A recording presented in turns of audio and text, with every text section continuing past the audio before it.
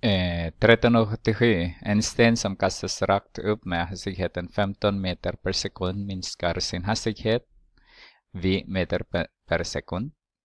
Eh, linjärt enligt den här modellen då. V av t är lika med 15 minus 9,8 t. Där t är tiden i sekunder. Så vi räknar och tolkar v eh, i parentes v av 75, äh, 0,75.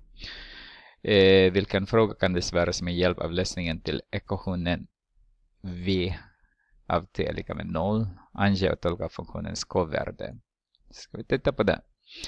Eh, ja, det är bara räkna. Det betyder att ni har eh, tiden som är 0,75 sekunder.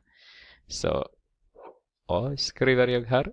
Vi av 0,75 är lika med 15 minus 9,8 multiplicerar 0,75 och jag ska räkna med miniräknaren. Jag pausar och ni pausar också. Och här har vi eh, vad fick jag? 7,65. 7,65 i en bok ser det ungefär eh, 7,7. Alltså meter per sekund vi pratar här. båda här. Meter per sekund. Så hastigheten i den. När den har gått 0,75 sekunder. Så den har sjunkit redan. Ja. Till eh, 7,7 meter per sekund. Och vilken fråga kan besvaras med hjälp av lösningen till ekvation v av t är lika med 0. Så det betyder eh, den här hela, den här den här, hela den här är 0. Så jag skriver det och sen vi ska titta.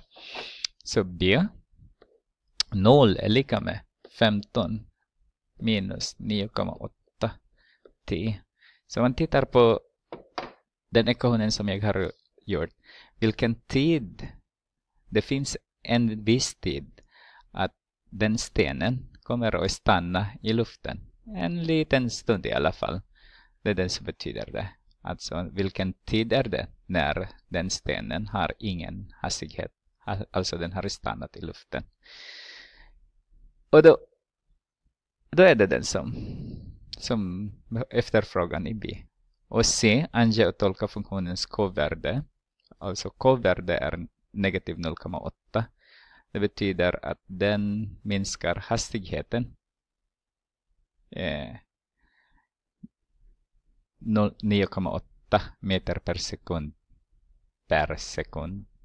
Alltså varje gång en sekund går så minskar redan 9,8. Så det går snabbt faktiskt. Med tanke på, det är lite fysik i den här med tanke på gravitationen och gravitation, ja, gravitationen.